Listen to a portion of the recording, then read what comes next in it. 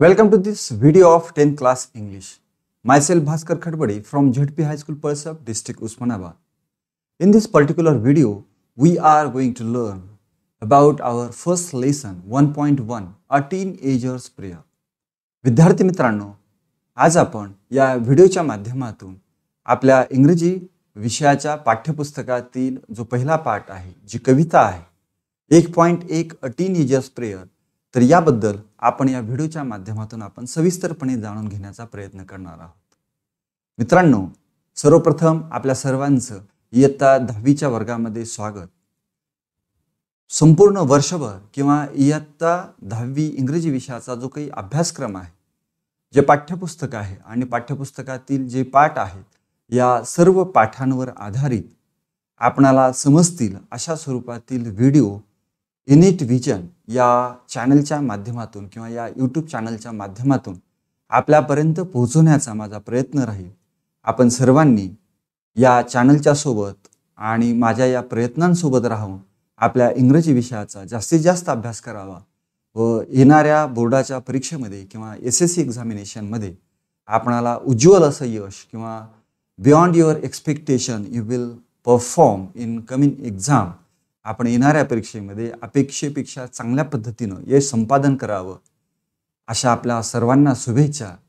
तर चला आजचा आपला जो हा व्हिडिओ आहे जो आपला पहिला पाठ आहे अ टीन एजर्स प्रेयर तर या पाठावर आधारित असणारा हा व्हिडिओ किंवा ही कविता आपण या व्हिडिओच्या माध्यमातून समजून घेण्याचा प्रयत्न करणार आहोत. विद्यार्थी मित्रांनो प्रत्येक व्हिडिओ पाहत असताना किंवा पाठावर आधारित व्हिडिओ पाहत असताना सर्वप्रथम तो पाठ आपण आपल्या पाठ्यपुस्तकामधून वाचून काढावा. तो पाठ वाचत असताना या ठिकाणी असणारे जे डिफिकल्ट वर्ड्स असतील किंवा अनफॅमिलियर वर्ड्स असतील तर या शब्दांना अंडरलाईन करावं. आणि हे शब्द डिक्शनरीच्या माध्यमातून किंवा आजकाल आपल्या मोबाईलवर ज्या काही ऑफलाईन इंग्लिश मराठी डिक्शनरीज आहेत याच्या माध्यमातून आपण या शब्दांचं पाठांतर करावं. तर व्हिडिओ पाहण्याच्या अगोदर एकदा लक्षपूर्वक आपण हा पाठ वाचून काढावा. त्यानंतर हा व्हिडिओ पाहत असताना आपलं पुस्तक आपल्यासोबत ठेवावं. तसंच हा व्हिडिओ शेवटपर्यंत एकाग्रपणे आणि लक्षपूर्वक पाहावा. जेणेकरून आपणाला हा घटक किंवा तो ज्या घटकावर व्हिडिओ असेल तो घटक व्यवस्थितपणे समजण्यास मदत होईल. जर आपण व्हिडिओ पूर्वी पाठ वाचला व्हिडिओ व्यवस्थित पाहिला आणि व्हिडिओ पाहिल्यानंतर परत एकदा पाठ वाचला तर यामुळं तुम्ही करत असणारा जो अभ्यास आहे तर त्या अभ्यासाविषयीची समज आणि ते दृढीकरण होण्यास आपणाला मदत होईल. तर चला तर आज आपण या पाठाचा अभ्यास सुरू करूया. तर आपण पाठ्यपुस्तक उघडलंच असेल तर आपल्या पाठ्यपुस्तकातील पहिलीच कविता एक पॉईंट एक अ टीन एजर्स प्रेयर ज्याचे लेखक आहेत जे मॉर्स. पहिल्या सुरूला प्रत्येक पाठाच्या अगोदर एक वॉर्मिंग अप सेक्शन असतं आणि त्या वॉर्मिंग अप सेक्शनमध्ये चिटचॅट सेक्शन असतं. आता वॉर्मिंग अप सेक्शन म्हणजे जसं एखादा खेळ खेळण्याच्या अगोदर किंवा व्यायाम करण्याच्या अगोदर व्यायामाला सुरुवात करण्याच्या अगोदर आपल्या शरीराची थोडीशी हालचाल करतो आणि आपलं शरीर त्या खेळासाठी किंवा त्या एक्झरसाईज आपण प्रिपेअर करत असतो. तशाच पद्धतीनं पाठाची सुरुवात करत असताना पाठाच्या सुरुवातीला जे वॉर्मिंग अप सेक्शन दिलेलं आहे तर याचा उद्देश त्या पाठाशी संबंधित जे पूर्वज्ञान आहे ते पूर्वज्ञान आपलं जागृत व्हावं जेणेकरून आपणाला तो घटक व्यवस्थितपणे समजण्यास मदत होईल.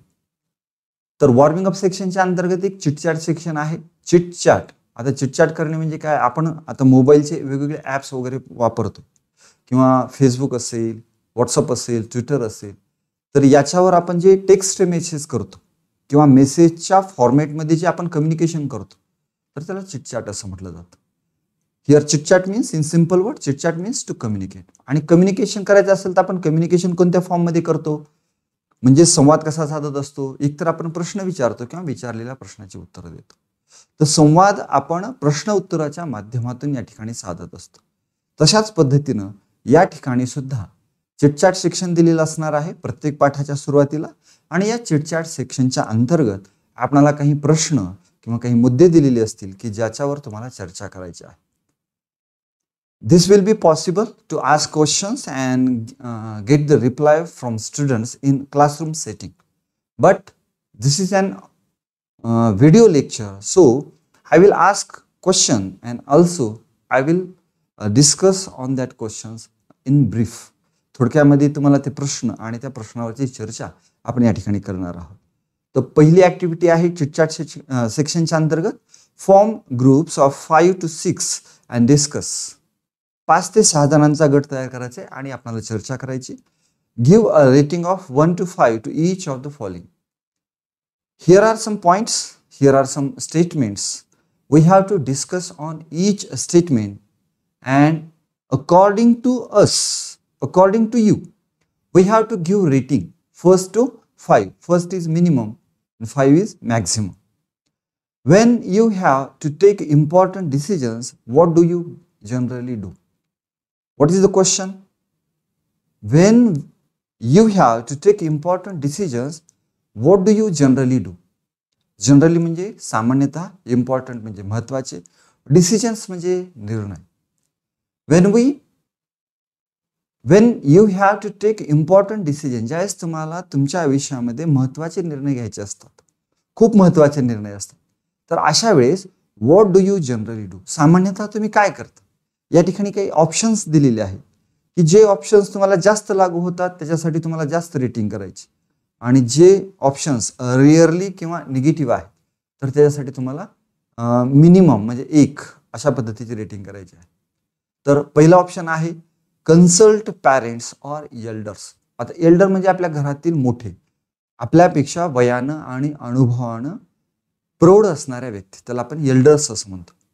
आणि parents. Parents means our mother and father आपले आई वडील consult parents or elders. Consultation म्हणजे सल्लामसलत करणे चर्चा करणे. मग ज्यावेळेस तुम्हाला तुमच्या आयुष्यामध्ये किंवा तुम्हाला एखादा महत्त्वाचा निर्णय घ्यायचा असतो तर अशा वेळेस तुम्ही तुमच्या पालकाशी किंवा इतर मोठ्या व्यक्तींशी सल्लामसलत करतात.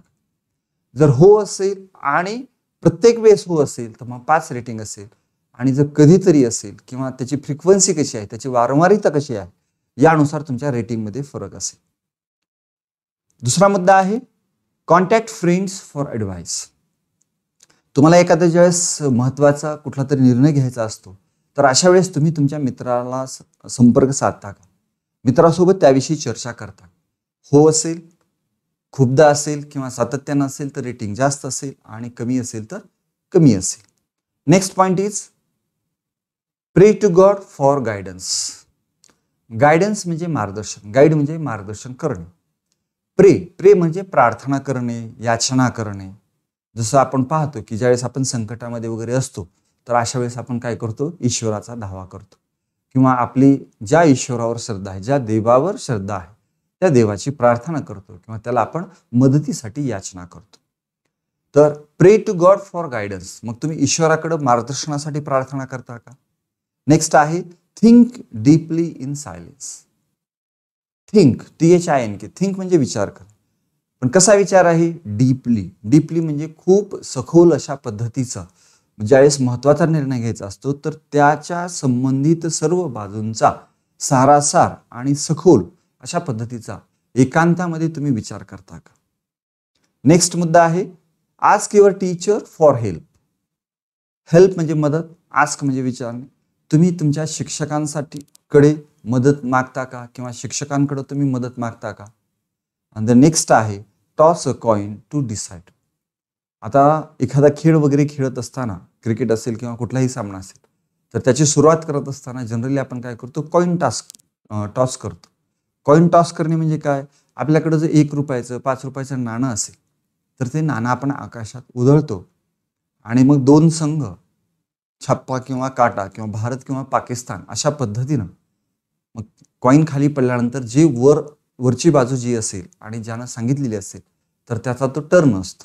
मग तसं तुम्ही डिसिजन करता का? की कॉईन टॉस करणं आणि जे येईल त्याच्यानुसार मग डिसिजन घेणं असं करता का? So uh, think from those points and give a rating in your notebooks. Now see the next activity, activity number two. In poetry, very often there are lines in which the poet seems to talk directly to an absent person, an absent idea or thing or object. Such a tactic or device used by the poet is the figure of speech apostrophe. First of all, what is meant by figure of speech? I have uh, prepared two videos, two separate videos on the topic of figure of speech and I try to cover nine figure of speech on those topics. In first part there are four figure of speech and in second part there are five figure of speech. So what is meant by figure of speech? Figure of speech means भाषा अलंकार किंवा शब्द अलंकार ज्या पद्धतीनं आपण आहोत त्यापेक्षा जास्त सुंदर दिसावं. यासाठी आपण अलंकारांचा आभूषणांचा सौंदर्य प्रसाधनांचा उपयोग करतो. तशाच पद्धतीनं कवीसुद्धा त्याचं काव्य अर्थाच्या दृष्टीनं भाषिक सौंदर्याच्या दृष्टीनं जास्त आकर्षक व्हावं जास्त अर्थपूर्ण व्हावं यासाठी साहित्यिक अलंकारांचा उपयोग करतो. मग त्याला लिटरली आस्थेटिक टूल्स असं म्हटलं जातं. साहित्यिक भाषा सौंदर्य वाढवणारी साधनं. तर त्यापैकीच एक म्हणजे फिगर ऑफ स्पीच ज्याला मराठीमधून शब्द अलंकार किंवा भाषा अलंकार असं म्हटलं जातं. तर ॲपॅस्ट्रॉपी हा एक भाषा अलंकार आहे. मग ॲपॅस्ट्रॉपी म्हणजे कोणता भाषा अलंकार? तर काही वेळेस आपण कवितेमध्ये पाहतो इन पोएट्री व्हेरी ऑफन बऱ्याचदा there are lines in which the poet seems to talk directly तर अशा काही ओळी असतात की ज्या ओळीमध्ये आपणाला असं वाटतं भासतं की कवी प्रत्यक्ष संवाद साधत आहे. पण प्रत्यक्ष संवाद हा कोणाशी साधत आहे? टू अन ॲबसेंट पर्सन आता आपण जर संवाद साधत असतो तर आपण ज्याच्याशी बोलतो त्याच्याशी संवाद साधतो. म्हणजे आपणही उपस्थित असतो आणि आपण ज्याच्याशी संवाद साधतो तोही व्यक्ती उपस्थित असतो. पण कवितेमध्ये काय होतं की कवी संवाद साधतो. संवादाचं स्वरूप सुद्धा प्रत्यक्ष आहे. डिरेक्ट कन्व्हर्सेशन आहे. पण कवी ज्याच्याशी संवाद साधत आहे तो व्यक्तीच तिथं उपस्थित नसतो. किंवा तो ग्रहित धरतो. एकतर व्यक्ती जी आहे तर अनुपस्थित असतो किंवा तिथं उपस्थित नसतो. किंवा ॲबस्ट्रॅक्ट आयडिया एखादी अमूर्त संकल्पना असेल ऑर थिंग ऑर ऑब्जेक्ट अमूर्त वस्तू, अमूर्त कल्पना किंवा एखादी व्यक्ती, परंतु ती अनुपस्थित व्यक्ती. तर अनुपस्थित व्यक्ती उपस्थित आहे. अमूर्त कल्पना मूर्त आहे. किंवा नॉन लिव्हिंग थिंग ही लिव्हिंग थिंग सारखी आहे. अशा पद्धतीनं कवी त्या बाबीशी संवाद साधत असतो. सच टॅक्टिक मग अशा पद्धतीचं जे काही फिगर ऑफ स्पीच आहे किंवा टॅक्टिक्स आहे किंवा डिव्हाइस आहे तर याला लिटरली लँग्वेजमध्ये फिगर ऑफ स्पीच असं म्हटलं जातं. आणि ही जी फिगर ऑफ स्पीच आहे त्याला ॲपॅस्टॉपी असं म्हटलं जातं. परोक्ष संबोधन. परोक्ष संबोधन म्हणजे काय? जे उपस्थितच नाही.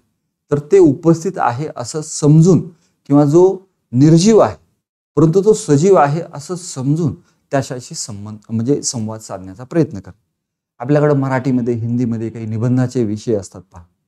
मी पक्षी असतो तर किंवा झाड बोलू लागले तर पर्वताची आत्मकथा अशा पद्धतीची किंवा एखाद्या पक्षाची आत्मकथा किंवा एखाद्या प्राण्याची आत्मकथा किंवा त्याचं दुःख म्हणजे तो व्यक्ती बोलतोय असं संबंधून तो काय विचार मांडू शकेल अशा स्वरूपामध्ये आपण तो निबंध आत्मकथेचा निबंध आपण लिहिण्याचा प्रयत्न करत असतो. आता या ठिकाणी फॉर एक्झाम्पल बघा. कशाचं एक्झाम्पल आहे ही? Apostrophe figure of speech twinkle twinkle little star आता ही लहान मुलांची कविता आहे ट्विंकल ट्विंकल लिटल स्टार तर या कवितेमध्ये आता लिटल स्टार जे आहे ते अवकाशामध्ये असतात. आपण रात्रीच्या वेळेस आकाशामध्ये पाहू शकतो जे आपल्यापासून खूप दूर असतात. आपण त्यांच्याशी प्रत्यक्ष संवाद साधू शकत नाही. जसं आपण आपल्या भावासोबत मित्रासोबत शिक्षकांसोबत पालकांसोबत संवाद साधतो प्रत्यक्ष स्वरूपामध्ये तसा वास्तवामध्ये आपण चंद्र असतील किंवा तारे असतील किंवा गगन असेल याच्याशी आपण प्रत्यक्ष संवाद साधत नाही. प्रत्यक्ष संवाद साधत आहोत असं समजून ज्यावेळेस अनुपस्थित बाबीशी संवाद किंवा तशा पद्धतीचं लिखाण कवितेतील एका ओळीमध्ये आलेलं असतं तर त्यावेळेस त्या ओळीमध्ये अपॅस्ट्रॉपी हा शब्द अलंकार आहे असं आपण म्हणू शकतो. याचं उदाहरण पहा. For एक्झाम्पलमध्ये twinkle twinkle little star death where is the thy sting O cave man I wish I could live with you twinkle twinkle little star म्हणजे जे तारे आहेत जे आपण रात्री आकाशामध्ये पाहतो जे आपल्यापासून खूप दूर असतात. तर लहान मुलांच्या या गीतामध्ये ताऱ्यांचं प्रत्यक्ष किंवा परोक्ष संबोधन या ठिकाणी झालेलं आपल्याला दिसून येतं. म्हणजे जे उपस्थित नाहीत परंतु उपस्थित आहेत आपल्यासमोर आहेत आणि आपण त्याच्याशी संवाद साधतो अशा अर्थानं या ओळीची रचना झालेली आहे. किंवा death where is thy sting मृत्यू तू कुठं असतोस? किंवा तिसरे एक्झाम्पल पहा O cave man I wish I could live with you O cave man आता केव मॅम केव म्हणजे काय? गुहा. ओ केव्ह मॅन म्हणजे काय? गुहेतील मानव. आता आपण गुहेमध्ये कधी राहत होतो तर आपल्या म्हणजे मानवी उत्क्रांतीच्या प्राथमिक अवस्थेमध्ये अश्मिक कालखंडामध्ये माणूस सुद्धा इतर प्रमाण प्राण्याप्रमाणे जंगलामध्ये गुहेमध्ये राहायचं. मग आता आपण एखादी गुहा पाहिल्यानंतर त्या ठिकाणचं चित्र वगैरे पाहतो. मग या ठिकाणी तो लेखक किंवा जो नॅरेटर आहे किंवा कवी आहे त्याला असं वाटतं की अरे गुहेतील मानवा मला सुद्धा तुझ्यासोबत राहण्याची इच्छा होती. पण ते शक्य आहे का आता? नाही. किंवा गुहेतील माणूस हा प्रत्यक्ष संवाद साधत असताना उपस्थित आहे का? तर नाही. परंतु तो प्रत्यक्ष उपस्थित आहे असं समजून या ओळीमध्ये आपल्याला ते कन्व्हर्सेशन दिसून येत. Now see the next another example now complete the following creating examples of apostrophe of your own तर या ठिकाणी काही अर्धवट वाक्य दिलेली आहेत. तर हे वाक्य आपणाला अपॅस्ट्रॉफीचा उपयोग करून म्हणजेच प्रत्यक्ष संवादाच्या स्वरूपामध्ये हे एक्झाम्पल्स आपल्याला कंप्लीट करायचे आहेत. Now see the first example A O life how strange are you अरे जीवना तू किती विलक्षण आहेस. B dear God please keep me calm in my difficult days प्रिय ईश्वरा किंवा प्रिय देवा please keep me calm in my difficult days माझ्या अडचणीच्या काळामध्ये माझ्या अवघड दिवसांमध्ये म्हणजेच काय? तर समस्याग्रस्त असताना मला शांत ठेवण्याचा प्रयत्न कर. Now see the next one C books you are my dear companions पुस्तकांनो तुम्हीच माझे प्रिय सोबती आहात. D exams I wish you were never there never परीक्षा. मला असं वाटतं की किंवा माझी अशी इच्छा होती यू वेअर नेव्हर देअर तर तू कधीच नसायला पाहिजे होतीस. कधीच नाही. The last example is O you beautiful sky send all your beauty to earth अरे सुंदर आकाशा. Send all your beauty to earth तुझं सर्व सौंदर्य या भूतलावर तू पाठवून दे. या प्रत्येक एक्झाम्पलमध्ये आपण पाहतो की आपण जो काही प्रत्यक्ष संवाद साधलेला आहे परंतु अप्रत्यक्ष किंवा अनुपस्थित बाबीशी उपस्थित आहे असं समजून we try to communicate directly आपण प्रत्यक्षपणे संवाद साधण्याचा प्रयत्न केलेला आहे. आणि because of that all these examples are the example of figure of speech apostrophe आणि म्हणून हे सर्व उदाहरणं हे अपॅस्ट्रॉपी या शब्द अलंकाराची उदाहरणं आहे now see the title of this poem a teenager's prayer आता या शीर्षकामध्ये टीन एज हे नऊन आहे. प्रेयर हे पण नऊन आहे.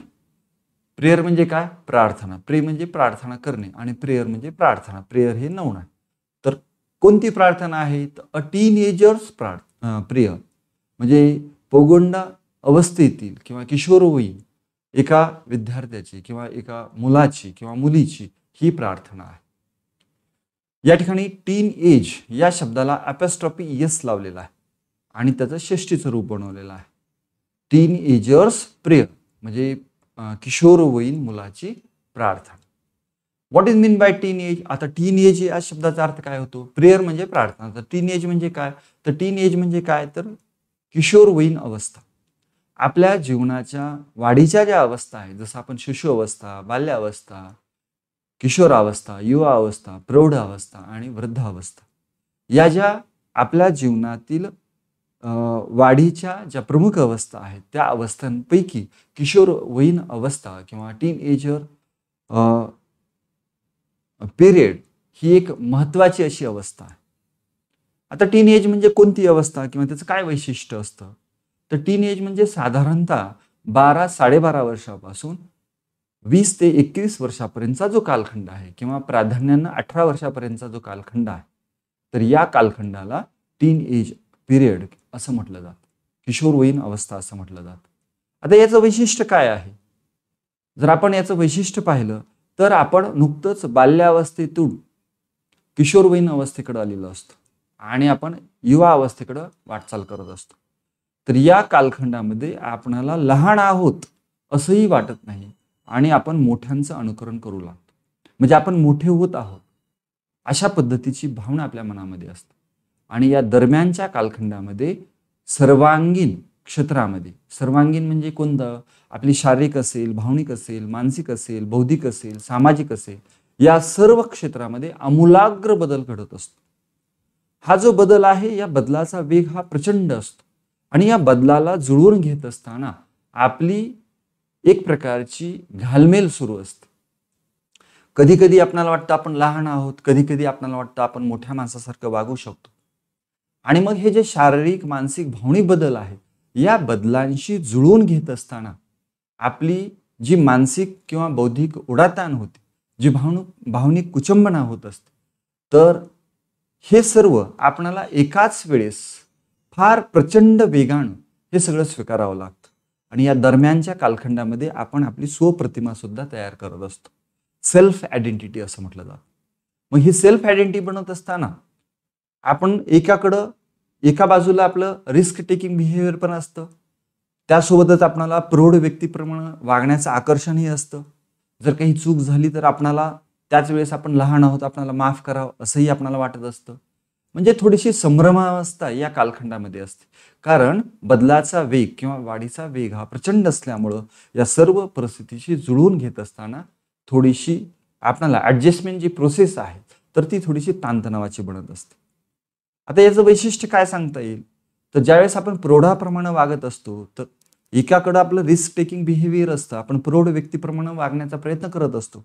पण त्याच वेळेस एखाद्या समस्येकडं एखाद्या बाबीकडं सारासार किंवा ज्याला आपण क्रिटिकल थिंकिंग असं म्हणतो सारासार विचार करण्याची जी क्षमता असते आपली अजून पूर्णतः विकसित झालेली नसते. आपल्या मेंदूमध्ये वेगवेगळे भाग आहेत आणि ते वेगवेगळे भाग वेगवेगळ्या बाबी या ठिकाणी नियंत्रित करत असतात. मग आपल्या मेंदूमधील आपल्या डाव्या बाजूला समोरचा जो काही प्रीफ्रंटल कॉर्टिक्स म्हणजे मेंदूचा हा जो विभाग आहे जो विशेषत सारासार विचार करण्यासाठी किंवा सारासार विचार करण्याची क्षमता या भागाकडं आहे असं समजलं जात. तर हा अजूनही विकसित अवस्थेमध्ये असतो. जसं आपण म्हणतो की एखाद्या व्यक्तीला बोलत असताना म्हणतो तुला अक्कलदाड आली नाही. म्हणजे आपले जे दात असतात दुधाचे दात तर ते पडून नवीन दात येतं. परंतु नवीन दात येत असताना आपल्या दाताच्या शेवटी असणाऱ्या ज्या दाडा असतात तर त्या खूप उशिरा येतात after twenty twenty five or twenty four म्हणजे वीस वर्षानंतर बावीस तेवीस चोवीस पंचवीसव्या वर्षे त्या दाडा येतात. म्हणजे खूप उशिरानं येणारी दाढ म्हणून त्याला आपण अक्कलदाड असं म्हणतो. आता हे अक्कलदाड अक्कलदाडेचा आणि अक्कलेचा जरी काही संबंध नसला तरी त्याच्यातून काय सांगण्याचा प्रयत्न होतो की आपणाला जी अक्कल आहे किंवा आपणाला जे शहाणपण असतं आपणाला जी सारासार विचार करण्याची क्षमता असते तर ही क्षमता आपली उशिरानं विकसित होते. याच्या मागचं कारण काय आहे?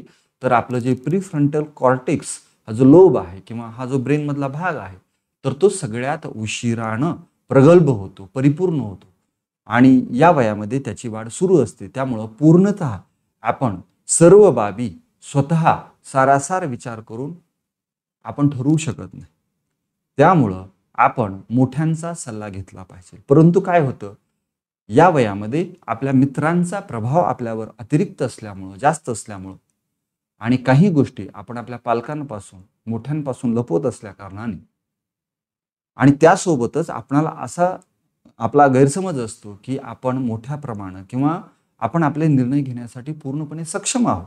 आपणाला मोठ्यांच्या सल्ल्याची गरज नाही किंवा मोठे जर आपणाला सल्ला देत असतील तर ते आपल्याला नको वाटतं.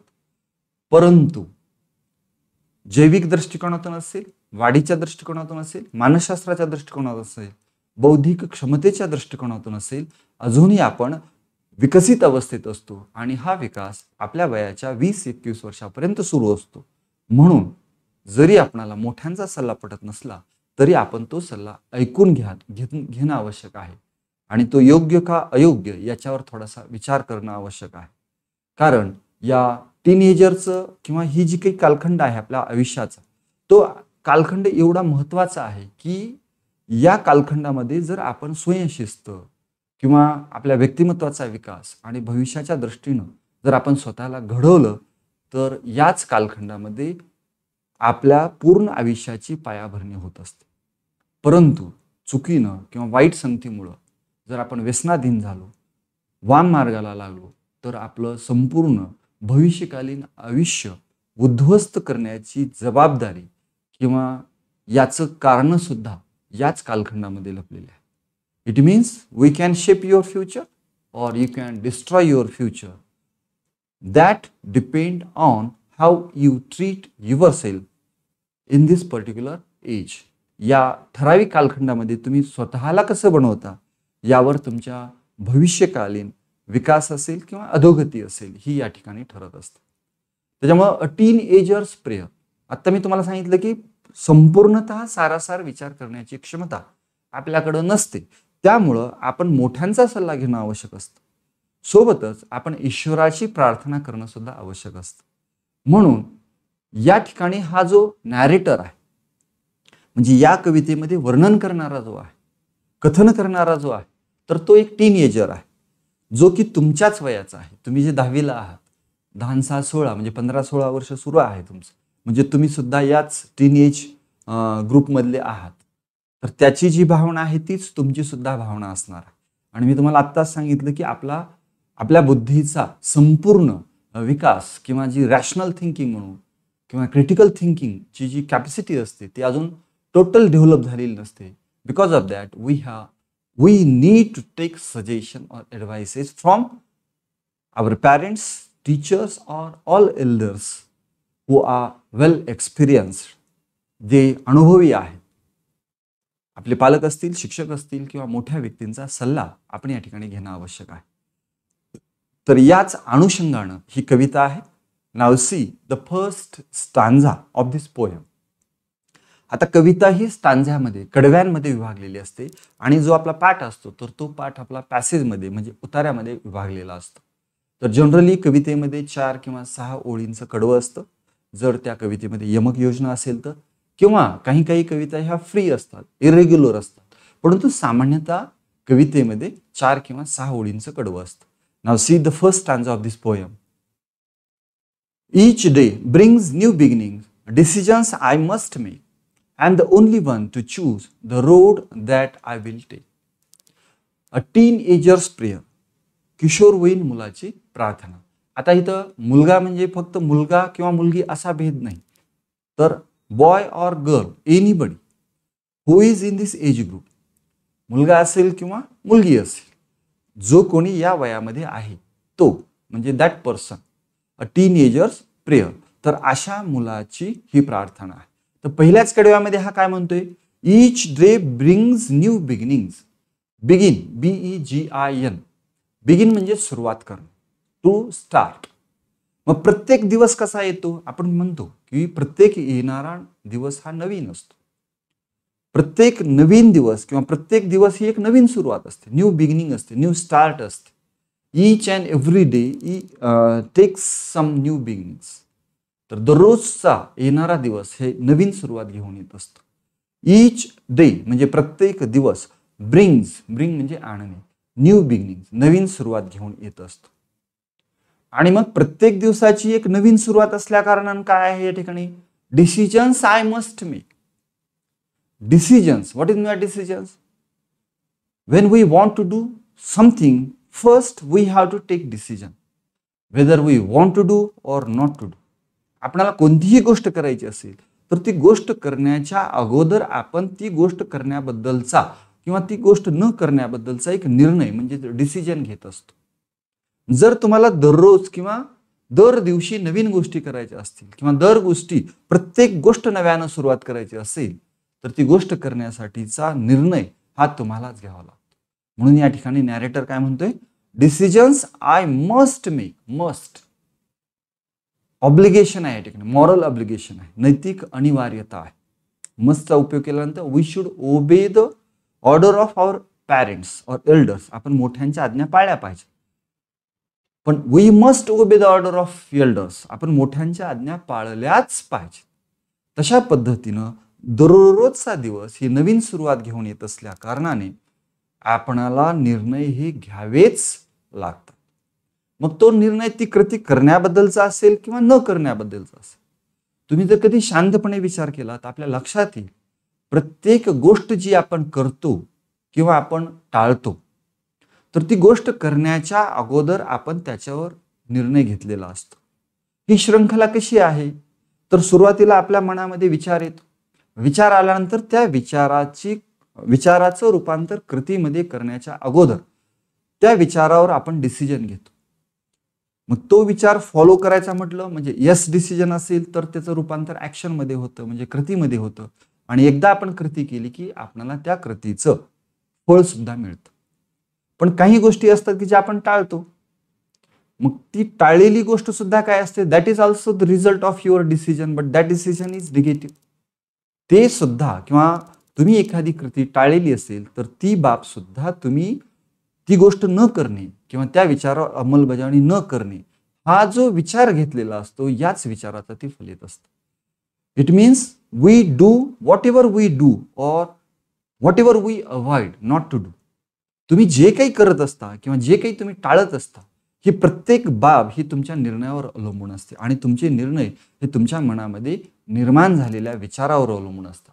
म्हणजे विचार निर्माण होतात. विचारावर आपण सकारात्मक जर निर्णय घेतला तर त्या विचाराचं रूपांतर कृतीमध्ये होतं. आपण जर नाही असा निर्णय घेतला तर मग तो निर्णय तिथंच थांबतो. त्याचं कृतीमध्ये रूपांतर होत नाही. मग कोणती गोष्ट असेल प्रत्येक गोष्ट आपण सकाळी झोपेतून उठत असताना उठावं की नाही असा विचार येतो. तुम्ही यस म्हटला तर आपण आपलं जे पांघरुण आहे ते बाजूला करतो आणि आपण उठून अभ्यासाला लागतो. तुम्हाला तुम्ही जर असा विचार केला तर नको. आत्ताच नाही उठायचं. थोड्या वेळानं विचार. उठू. तर आपण उठण्याची क्रिया करत नाही. आपण तसंच झोपून राहतो. जेवण असेल ब्रश असेल शाळेला जाणं असेल हा व्हिडिओ पाहणं असेल अभ्यास करणं असेल प्रत्येक कृती करण्याच्या अगोदर आपल्या मनामध्ये एक विचार येतो आणि त्या विचारावर ज्यावेळेस आपण सकारात्मकपणे पॉझिटिव्हली यस अशा पद्धतीचं डिसिजन घेतो त्यावेळेस त्या रूपात विचाराचं रूपांतर हे कृतीमध्ये झालेलं आपल्याला दिसून येतं.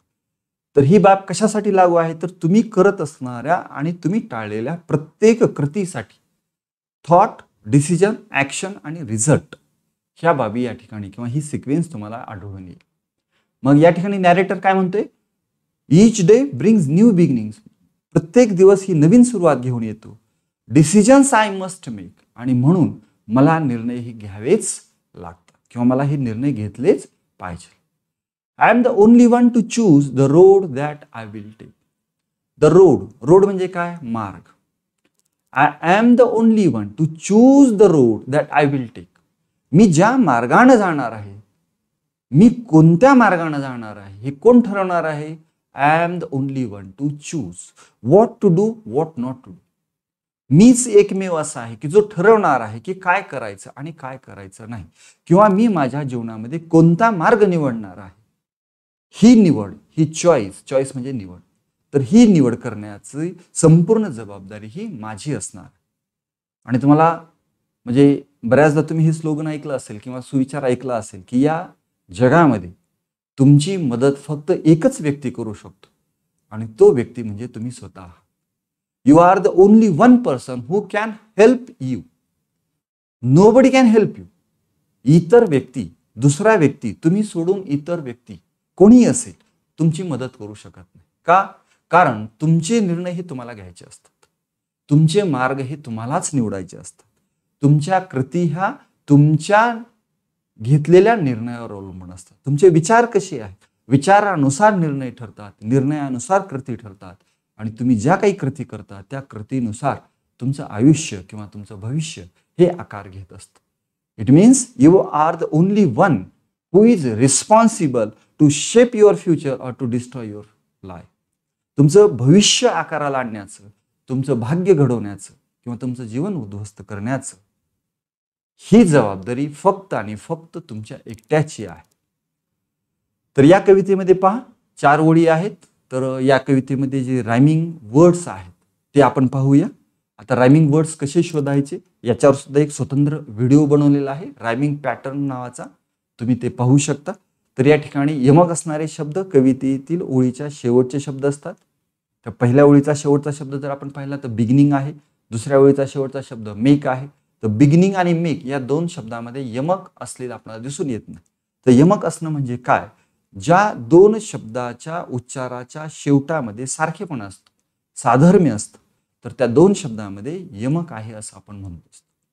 तर जसं फिगर ऑफ स्पीचचा उपयोग कवी भाषिक सौंदर्य काव्याचं सौंदर्य वाढवण्यासाठी करत असतो तशाच पद्धतीनं यमक असणाऱ्या शब्दांचा उपयोग कवी त्या काव्याला त्या कवितेला त्या गीताला एक प्रकारची चाल किंवा लय किंवा संगीत संगीतमय चाल देण्यासाठी त्या समान उच्चारानं शेवट होणाऱ्या शब्दांची योजना त्याच्या त्या कवितेतील ओळीच्या शेवटी करत असतो. तर या कवितेचा विचार केला तर या पहिल्या कडव्यामध्ये पहिल्या आणि दुसऱ्या ओळीच्या शेवटच्या शब्दांमध्ये यमक नाही. जर पहिल्या आणि दुसऱ्या ओळीच्या शेवटच्या शब्दामध्ये यमक नसेल तर मग आपण पहिल्या आणि तिसऱ्या ओळीच्या शेवटचा शब्द पाहायचा. तर या ठिकाणी बिगिनिंग पहिल्या ओळीचा शेवटचा शब्द आणि चूज हे तिसऱ्या ओळीचा शब्द. तर या दोन्ही शब्दामध्ये सुद्धा आपणाला या दोन्ही शब्दाच्या उच्चाराच्या शेवटामध्ये साधर्म्य असलेलं दिसून येत नाही. म्हणजे याच्यामध्ये सुद्धा यमक नाही. जर समजा पहिल्या आणि दुसऱ्या ओळीच्या शेवटच्या शब्दामध्ये यमक नसेल पहिल्या आणि तिसऱ्या ओळीच्या शेवटच्या शब्दामध्ये यमक नसेल तर मग आपण दुसऱ्या आणि चौथ्या ओळीच्या शेवटच्या शब्दामध्ये यमक आहे का ते पाहायचं. तर दुसऱ्या ओळीचा शेवटचा शब्द आहे मेक आणि चौथ्या ओळीचा शेवटचा शब्द आहे टेक. तर मेक आणि टेक एक एक. हा एंडिंग प्रोनाऊन्सिएशन दोन्ही वर्डचं कसं आहे? सिमिलर आहे सारखं आहे.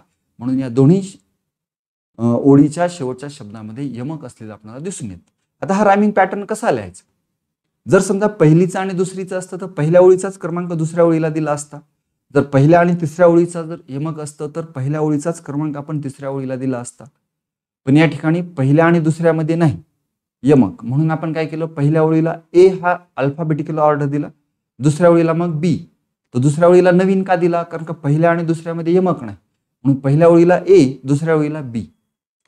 आता तिसऱ्या ओळीला परत सी कारण पहिल्या आणि तिसऱ्यामध्ये सुद्धा यमक नाही म्हणून नवीन क्रमांक दिला. आणि चौथ्या ओळीला दुसऱ्याच ओळीचा क्रमांक कारण चौथी ओळ ही दुसऱ्या ओळीतील शेवटच्या शब्दाशी यमक साधते. म्हणून दुसऱ्या ओळीचा जो क्रमांक आहे तोच क्रमांक या ठिकाणी चौथ्या ओळीला असेल. म्हणजे या कवितेतील किंवा या कडव्यातील जो रायमिंग पॅटर्न आहे रायमिंग स्कीम आहे तर ती कशा पद्धतीने लिहिली जाते? तर A B C B rhyming pattern लिहित असताना आपल्या बाराखडीतील दुसऱ्या लिपीमध्ये या ठिकाणी दाखवलं जातं ए बी सी बी तर रायमिंग स्कीम काय आहे? ए बी सी बी आणि रायमिंग पेअर कोणती आहे या स्टँजामध्ये? मेक आणि टेक आता फिगर ऑफ स्पीच आत्ताच आपण ॲपॅस्ट्रॉफी ही फिगर ऑफ स्पीच पाहिली होती. तशाच पद्धतीने इतर सुद्धा फिगर ऑफ स्पीच आहे. तर या कडव्यामध्ये कोणती फिगर ऑफ स्पीच आहे? इन्व्हर्शन आणि अलिटरेशन इन्व्हर्शन म्हणजे काय? तर उलटा क्रम. आता नॉर्मल सेंटेन्स ऑर्डर जी असते ती सब्जेक्ट वर्ब ऑब्जेक्ट अशा पद्धतीची असते.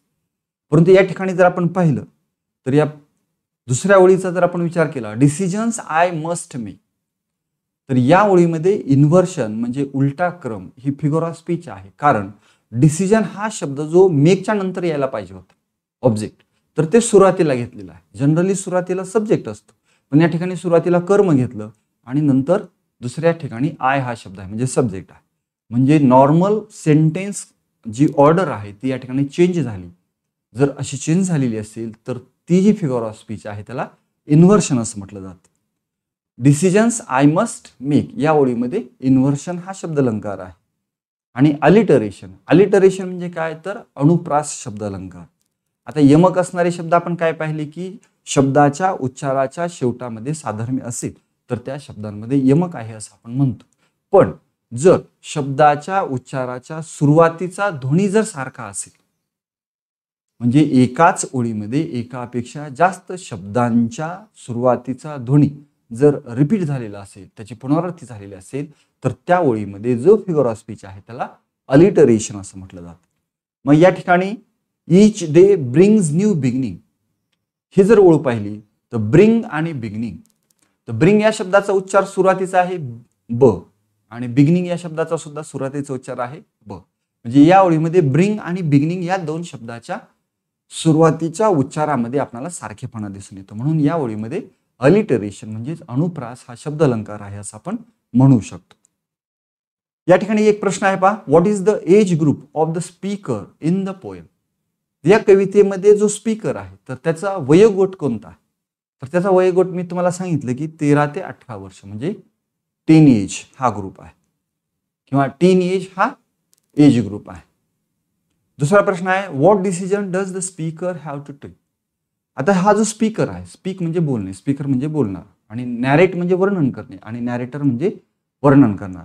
म्हणजे स्पीकर आणि नॅरेटर हे दोन्ही शब्द कवितेच्या संदर्भामध्ये त्या कवितेमध्ये कोणता नॅरेटर आहे किंवा कोण स्पीकर आहे हे समानार्थी वापरले जातात. तर नॅरेटर म्हणजे स्पीकर आणि स्पीकर म्हणजेच narrator what decisions does the speaker have to take तर या ठिकाणी या स्पीकरला कोणते निर्णय घ्यावे लागतात? Decisions I must make which road I will take मी कोणत्या मार्गाने जाणार? किंवा what to do and what not to do काय करायचं आणि काय न करणार करायचं? किंवा काय करायचं आणि काय टाळायचं? याबाबतचा निर्णय किंवा such type of decision what to do or to choose what the road the narrator will take in his future त्याच्या भविष्याकडे जाणारा कोणता मार्ग निवडायचा जीवनाचा? तर that type of decisions have to take has to take the narrator now see the second stanza I can choose to take the road of life आता choose म्हणजे निवड कर and the only one who can choose the road of life that the narrator will take in future तर narrator हाच संपूर्णपणे जबाबदार आहे किंवा आपण स्वतःच आपल्या जीवनाचा कोणता मार्ग निवडायचा याबद्दल आपण जबाबदार असतो कोणकोणते मार्ग असणार आहेत? Both types of good and bad चांगला आणि वाईट. दोन्ही मार्ग असणार आहेत. मी तुम्हाला आत्ताच सांगितलं की तुम्ही जर व्यवस्थितपणे तुमच्या व्यक्तिमत्वामध्ये सुधारणा करण्यासाठी शिस्तबद्ध प्रयत्न केले तर तुमचं जीवन आकाराला येईल. आणि तुम्ही जर व्यसनाधीन किंवा वाम मार्गाला लागलं तर तुमचं भविष्य काळ किंवा तुमचं संपूर्ण आयुष्य हे उद्ध्वस्त झाल्याशिवाय राहणार नाही. म्हणून या ठिकाणी नॅरेटर काय म्हणतोय पहा? I can choose to take the road of life that leads to great success or travel down the darkened road that leads to great distress. I can choose to take the road of life. मी अशा जीवनमार्गाची निवड करू शकतो की जो मार्ग कुठे जाणार आहे that leads to great success जो अतिशय यशस्वी वाटचाल असणार आहे किंवा ग्रेट सक्सेसकडे जाणार आहे महान यशाकडे जाणारा माझ्या माझ्या जीवनाला महान यशाकडं घेऊन जाणारा मार्ग सुद्धा मी निवडू शकतो. और किंवा travel down the darken road किंवा मी अधोगतीकडे जाणार. डार्कनेस डार्कनेस म्हणजे अंधार. आणि लाइट किंवा ब्राईटनेस म्हणजे उजेड. आपण कंपेअर करत असताना किंवा ह्या शब्दांचा अर्थ घेत असताना वाईट गोष्टीसाठी अंधार किंवा डार्कनेस काळोख अशा पद्धतीचा शब्द वापरतो.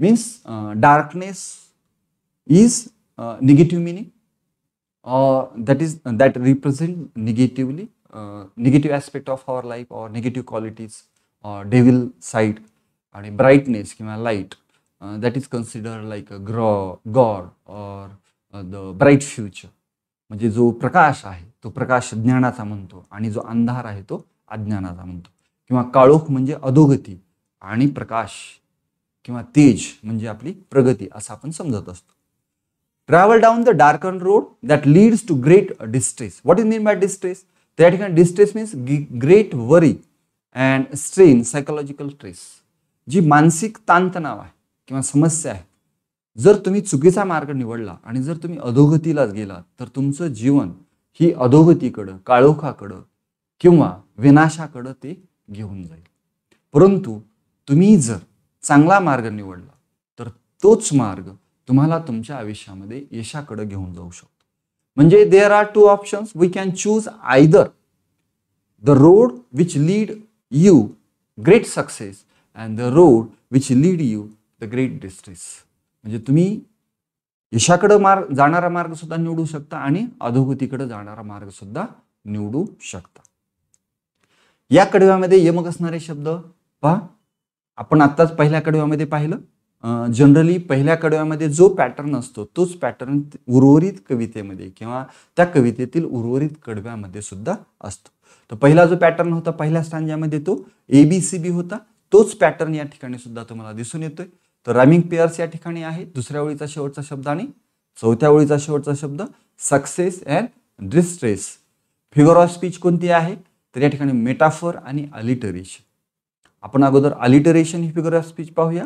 Travel down the darken road ही ती तिसरी ओळ आहे या तिसऱ्या ओळीमध्ये डाऊन आणि डार्कन्ड या दोन्ही शब्दाच्या सुरुवातीचा जो ध्वनी आहे ड तर हा रिपीट झालेला आहे म्हणून या ओळीमध्ये अलिटरेशन ही फिगर ऑफ स्पीच आहे असं आपण म्हणू शकतो. आता मेटाफर मेटाफर म्हणजे काय? रूप. तर दोन भिन्न बाबीची तुलना केलेली असते पण ही तुलना प्रत्यक्ष न करता अप्रत्यक्ष स्वरूपामध्ये केलेली असते. सिमिली आणि मेटाफॉरमध्ये काय फरक आहे? सिमिली म्हणजे काय? उपमा की ज्याच्यामध्ये तुलना केलेली असते दोन बाबींची. पण ही तुलना कशी असते? ॲज ॲज किंवा लाईक अशा शब्दांचा उपयोग केलेला असतो. आणि मेटाफॉरमध्ये सुद्धा तुलना असते परंतु ती इनडिरेक्ट असते अप्रत्यक्ष असते. आणि याच्यामध्ये लाईक किंवा ॲज ॲजचा उपयोग केला जात नाही. एक्झाम्पल पहा या ठिकाणी. I can choose to take the road of life आता रोड आणि लाईफ या दोन शब्दामध्ये या ठिकाणी तुलना केलेली आहे. मार्ग आणि जीवन म्हणजे जीवनाचा मार्ग. अशा पद्धतीने. मी आत्ता तुम्हाला सांगितलं की आपले जे थॉट्स असतात त्या थॉट्सवर किंवा कोणतीही गोष्ट वैज्ञानिक असेल किंवा कोणी असेल एखादी गोष्ट प्रत्यक्षामध्ये अस्तित्वात येण्याच्या अगोदर विचाराच्या स्वरूपामध्ये ती अस्तित्वात आलेली असते. म्हणजेच काय? तर आपला विचार त्या विचारावर आपलं डिसिजन म्हणजेच आपली चॉईस आपण ती निवड करतो कोणत्या विचारावर कृती करायची आणि कोणत्या विचारावर करायची नाही. म्हणजे यस आणि no both type are the decisions हे दोन्ही प्रकारचे जे आहेत ते निर्णयच असतात. हो हा सुद्धा निर्णय आहे आणि नाही हा सुद्धा निर्णयच असतो. आणि एकदा का आपण हो असा निर्णय घेतला की मग आपल्या निर्णयाचं रूपांतर हे कृतीमध्ये होतं प्रत्यक्ष कार्यामध्ये होतं. आणि आपलं जसं कार्य असेल ज्या हेतून आपण कार्य करता तशा स्वरूपाचं फळ म्हणजेच रिझल्ट किंवा आउटकम आपल्याला प्राप्त होत असतो. Now see the next stanza please open up my eyes dear Lord शकतो. तर कोणता मार्ग निवडायचा हे पूर्णपणे माझ्यावर अवलंबून आहे. म्हणजे माझ्या निर्णयावर अवलंबून आहे. म्हणून तो ईश्वराला काय प्रार्थना करतोय पहा. Please open up my eyes dear Lord आणि कृपा करून तू काय कर माझे डोळे उघडे कर. आपले डोळे उघडे नाहीत का? आपले डोळे तर उघडे आहेत. मग आपण पाहतो सुद्धा. We have eyes but we have not vision आपल्याला दृष्टी आहे पण आपल्याकडं दूरदृष्टी नाही. आता दूरदृष्टी किंवा व्हिजन म्हणजे काय? तर दूरचं पाहण्याचं का? क्षमता का? आपल्या डोळ्यांची दूरची पाहण्याची क्षमता. म्हणजे दूरदृष्टी का? तर नाही. येणाऱ्या काळामध्ये भविष्यामध्ये आपणाला काय आवश्यक आहे? किंवा आपल्या आयुष्याच्या वळणावर किंवा आपल्या आयुष्यामध्ये मार्गक्रमण करत असताना भविष्यामध्ये आपलं आयुष्य कसं असलं पाहिजे? आपण कोणत्या करिअरमध्ये जाणार आहोत? आपली स्वप्न काय आहेत? आपल्या ड्रीम्स काय आहेत? आणि आपण कशा पद्धतीनं भविष्यकालीन किंवा भविष्याचा वेध घेण्याच्या दृष्टीनं वर्तमान क्षणामध्ये आपण कशा पद्धतीनं कार्य केलं पाहिजे जेणेकरून भविष्यकालीन स्वप्न सत्यामध्ये येतील? तर हे जाणण्याची हे पाहण्याची हे समजून घेण्याची क्षमता म्हणजे व्हिजन किंवा दूरदृष्टी. म्हणून म्हटलं जातं we have eye but we have not vision we have vision if we have vision we can shape our future जर आपल्याकडे दूरदृष्टी असेल आपल्याकडे स्वप्न असतील तरच आपण आपल्या भविष्याला आकार देऊ शकतो. Please open up my eyes dear Lord that I might clearly see see म्हणजे पाहणे. कृपा करून तू माझे डोळे उघड की जेणेकरून मी स्पष्टपणे पाहू शकेल. काय? What is good what is bad what is essential for myself my personality my knowledge gaining or and to fulfil my future dreams माझे भविष्यकालीन स्वप्न पूर्ण करण्यासाठी माझ्यासाठी माझ्या व्यक्तिमत्वासाठी ज्ञान ग्रहण करण्यासाठी कोणत्या बाबी आवश्यक आहेत हे मी स्पष्टपणे पाहू शकेल आणि म्हणून please open up my eyes dear Lord कृपा करून प्रिय ईश्वरा कृपा करून तू माझे डोळे उघड. That I might clearly see जर तू माझे डोळे लख उघडले किंवा मला तशी दूरदृष्टी तू प्राप्त करून दिलीस आय माईट क्लिअरली सी तर मी स्पष्टपणे पाहू शकेल help me stand for what is right help me मला मदत कर. कशासाठी? Stand for what is right जे योग्य आहे त्याच्या बाजूने उभं राहण्याचे. जे बरोबर आहे जे राईट आहे जे योग्य आहे जे माझ्यासाठी उपयोगी आहे समाजासाठी उपयोगी आहे तर ती बाब करण्यासाठी अशा बाजूने उभं राहण्यासाठी किंवा त्याला सपोर्ट करण्यासाठी मला मदत कर. Bring out the best in me मदत कशासाठी करायची?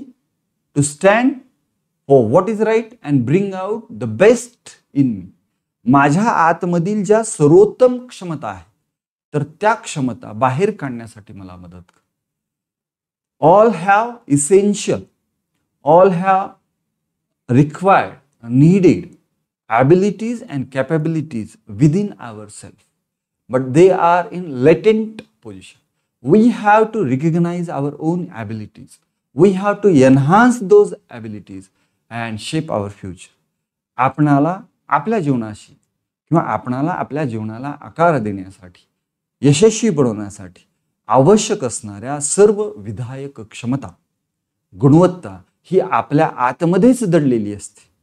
आपणाला फक्त आपली दृष्टी आपल्या अंतरंगाकडे घेऊन जाणं आपल्या अंतरंगामध्ये आपल्या आतमध्ये असणाऱ्या क्षमता ओळखणं त्या क्षमता विकसित करणं त्याचा उपयोग करणं आणि जीवन यशस्वी करणं आवश्यक असतं. जसं कस्तुरीच्याच बिंबीमध्ये तो कस्तुरी मृग असतो तो सुगंध असतो पण तो सुगंध शोधण्यासाठी तर तो मृग किंवा ती कस्तुरी ही बाहेर फिरत असते. तशा पद्धतीनंच आपल्याला आपलं आयुष्य घडवण्यासाठी यशस्वी समाधानी आनंदी आयुष्य घडवण्यासाठी आवश्यक असणाऱ्या सर्व क्षमता ईश्वरानं देऊनच आपणाला या जगामध्ये पाठवलेला आहे. परंतु आपण बाह्य जगामध्ये सर्व बाबीचा शोध घेतो. आपण आपल्या अंतरंगाकडं आपल्या आतमध्ये आपल्या ज्या क्षम क्षमता आहेत आपले जे स्ट्रॉंग पॉईंट्स आहेत आपल्या ज्या ॲबिलिटीज आहेत तर त्या ओळखणं आणि ओळखून त्याचा विकास घडवून त्याचा उपयोग स्वतःसाठी आणि इतरांसाठी करणं आवश्यक आहे. जर आपल्याकडं असा दृष्टिकोन आला किंवा आपण जर आपल्या स्वतःवर कार्य केलं तर निश्चितच आपलं आयुष्य हे भव्य झाल्याशिवाय राहणार नाही. या कडव्यामध्ये पहा यमक असणारे शब्द सी आणि मी दुसऱ्या ओळीचा शेवटचा शब्द चौथ्या ओळीचा शेवटचा शब्द rhyming pattern A B C B figure of speech या ठिकाणी आहे अपॅस्ट्रॉपी आपण कवितेच्या सुरुवातीलाच पाहिलेलं अपॅस्ट्रॉपी म्हणजे एक्झाम्पल आहे त्याचं. Please open up my eyes dear Lord या ओळीमध्ये कवी कवीनं किंवा नॅरेटरनं ईश्वराशी प्रत्यक्ष संवाद साधल्याप्रमाणे ही ओळ आलेली आहे. म्हणून या ओळीमध्ये अपॅस्ट्रॉपी हा फिगर ऑफ स्पीच आहे. अलिटरेशन म्हणजे अणुप्रास शब्दालंकार. Bring out the best in me या ओळीमध्ये ब्रिंग आणि बेस्ट या दोन्ही शब्दाच्या सुरुवातीचा जो ध्वनी आहे ब तर हा रिपीट झालेला आहे. म्हणून या ओळीमध्ये अलिटरेशन हा शब्दालंकार आहे असं आपण म्हणू शकतो. Now see the next stanza. Help Lord, to just say no when temptation comes my way that I might keep my body clean and fit for life each day. Help Lord, to just say no मला मदत कर देवा. कशासाठी? To just say no फक्त नाही म्हणण्यासाठी मदत कर. कशाला नाही म्हणायचंय वेन टेम्पटेशन्स कम्स माय वे वे म्हणजे मार्ग. आणि टेम्पटेशन म्हणजे मोहाचे क्षण. What is mean by temptation Temptation means a strong wish to do something which is not good which is bad or wrong. वाईट ज्या गोष्टी आहेत वाईट गोष्ट करण्याबद्दलची तीव्र इच्छा. किंवा एखादी बाब करण्याबद्दलची तीव्र इच्छा. परंतु ती बाब कशी आहे? वाईट आहे. तर त्याला टेम्पटेशन असं म्हटलं जातं. आपण त्याला लालसा लोभ अशा पद्धतीनं म्हणतो. मग काही बाबींना मग समजा एखादं व्यसन असेल एखादी वाईट संगत असेल एखादी चुकीची बाब असेल आणि आपल्याला मित्र जर कर म्हणत असतील तर त्या मोहाला न बळी पडता आपल्याला ठामपणे ते नाही म्हणता आलं पाहिजे. ज्या बाबी आपल्यासाठी आपल्या भविष्यासाठी आपल्या व्यक्तिमत्वासाठी उपयोगी नाहीत आवश्यक नाही अशा निरर्थक बाबीमध्ये आपला वेळ खर्च करण्यापेक्षा त्या गोष्टी किंवा त्या बाबी किंवा तशी कृत्य आपणाला ठामपणे नाही म्हणता आलं पाहिजे त्या बाबी आपल्याला टाळता आला पाहिजे. तरच आपण चांगल्या गोष्टी करण्यासाठी आपल्याकडे वेळ एनर्जी आणि दृष्टिकोन शिल्लक असेल. नाहीतर आपण जर सतत वाईट गोष्टी करण्यामध्ये गुंतलेलो असू तर चांगल्या गोष्टी करण्यासाठी आपल्याला वेळच राहणार नाही. किंबहुना why we waste our time and energy in such trivial thing which are not good which are not essential or beneficial for us and for our future for our dream for our goal आपल्या भविष्यासाठी आपल्या स्वप्नपूर्तीसाठी आपल्या चांगल्यासाठी आपल्या व्यक्तिमत्वासाठी ज्या बाबी उपयोगी नाहीत अशा गोष्टी करण्यामध्ये आपण आपला वेळच का खर्च करावा? त्याच्यासाठी आपल्याला अशा बाबी नाही म्हणता आल्या पाहिजे म्हणून या ठिकाणी टीनेजर किंवा नॅरेटर काय म्हणतोय? Help Lord to just say no when temptation comes my way ज्यावेळेस माझ्या मार्गामध्ये या जीवनाच्या प्रवासामध्ये ज्यावेळेस मोहाचे क्षण येतील वाईट गोष्टी करण्याची माझी इच्छा होईल तीव्र इच्छा होईल. तर अशा वेळेस ठामपणे नाही म्हणण्यासाठी तुम्हाला मदत कर that I might keep my body clean and fit for life each day आणि तसंच I might keep my body clean and fit मला माझं शरीर स्वच्छ आणि तंदुरुस्त सुद्धा ठेवणं आवश्यक आहे. कशासाठी? For life each day whatever we want to do our studies or any task we need our physical energy or physical fitness. Not only physical fitness, but also physical, mental and emotional fitness or hygiene. फक्त शारीरिक स्वच्छताच नाही तर शारीरिक मानसिक आणि भावनिक स्वच्छता आणि तंदुरुस्ती आपणाला दररोजचं जीवन उल्हासपूर्ण उत्स्फूर्तपणे निरोगीपणे जगण्यासाठी आवश्यक आहे now see the rhyming prayer from this stanza way आणि डी या कडव्यामधील यमक असणाऱ्या शब्दांची जोडी आहे वे आणि डी. फिगर ऑफ स्पीच आहे अपॅस्ट्रॉपी. तर कोणती ओळ असेल? Yes. Help Lord to just say no. ही ओळ जी आहे ती अपॅस्ट्रॉपी या फिगर ऑफ स्पीचचे एक्झाम्पल आहे. त्यानंतर टेम्पटेशन हा शब्द आहे. त्याचं मिनिंग पहा. A strong wish to do something bad or wrong. एखादी गोष्ट करण्याबद्दलची तीव्र इच्छा परंतु जी बाब आपल्यासाठी चुकीची आहे चांगली नाही वाईट आहे अशी बाब करण्याची तीव्र इच्छा म्हणजे मोह किंवा टेम्पटेशन क्वेश्चन आहे पहा या ठिकाणी. How should one react on temptation एखाद्यानं टेम्पटेशनवर कशा पद्धतीने रिॲक्ट झालं पाहिजे? One should say firmly no to the temptation एखाद्यानं मोहाला ठामपणे नाही म्हटलं म्हणता आलं पाहिजे. He have to avoid temptation by saying no next question in what condition does the poet wish to maintain his body कुठल्या कंडिशनमध्ये कुठल्या परिस्थितीमध्ये या कवीला किंवा या नॅरेटरला त्याचं शरीर तंदुरुस्त ठेवायचं? For the life of each day दैनंदिन जीवन जगत असताना त्याला त्याचं शरीर आणि मन हे तंदुरुस्त ठेवायचं आहे. Now see the last stanza of this point when my teenage years are over I know that I will see that life is lived its very best with you walking next to me. तर या कडव्यामध्ये शेवटच्या कडव्यामध्ये narrator काय म्हणतोय पहा. When my teenage years are over ज्यावेळेस माझी ही पौगंड अवस्था किशोरवयीन अवस्था संपलेली असेल आय नो मला माहीत आहे दॅट आय विल सी त्यावेळेस मी पाहू शकेल. म्हणजेच काय? तर त्यावेळेस मला पूर्णपणे समज आलेली असेल. मी तुम्हाला सुरुवातीला सांगितलं की या कालखंडामध्ये सारासार विचार करण्याची आपल्या मेंदूची जी क्षमता आहे ती विकसनशील अवस्थेमध्ये असते. ती पूर्णपणे विकसित झालेली नसते. The prefrontal cortex is still developing and he is fully developed after only twenty or twenty one years of our age आपल्या वीस किंवा एकवीस वर्षानंतरच ही क्षमता आपल्याकडे पूर्णपणे विकसित होत असते. म्हणून या ठिकाणी हा नॅरेटर काय म्हणतोय? की मला माहीत आहे की माझी ही अवस्था संपल्यानंतर किशोरवयीन अवस्था संपल्यानंतर I am able to think rationally I am able to think critically I can understand what is good what is bad for me for my society माझ्यासाठी माझ्या समाजासाठी काय चांगलं आणि काय वाईट ह्या बाबी जाणण्या इतपतची क्षमता माझ्यामध्ये निश्चितच निर्माण झालेली असेल. म्हणून या ठिकाणी नॅरेटर काय म्हणतोय? When my teenage years are over I know that I will see that life is lived its very best with you walking next to me. तुझ्यासोबत तू जर walking next to me with you तू जर माझं मार्गक्रमण करत अस असणार.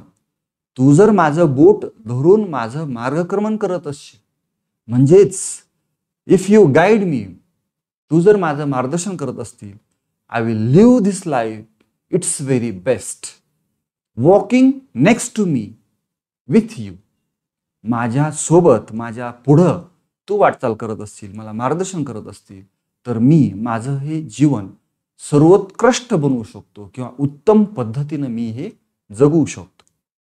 Now see the rhyming pair from this stanza see and me rhyming scheme of this poem is A B C and B figure of speech alliteration that life is lived its very best या ओळीमध्ये life आणि lived या दोन्ही शब्दाच्या सुरुवातीचा जो काही उच्चार आहे ध्वनी यल आहे ल आहे तर हा रिपीट झालेला असल्यामुळं लाईफ ल आणि लिव्ड ल.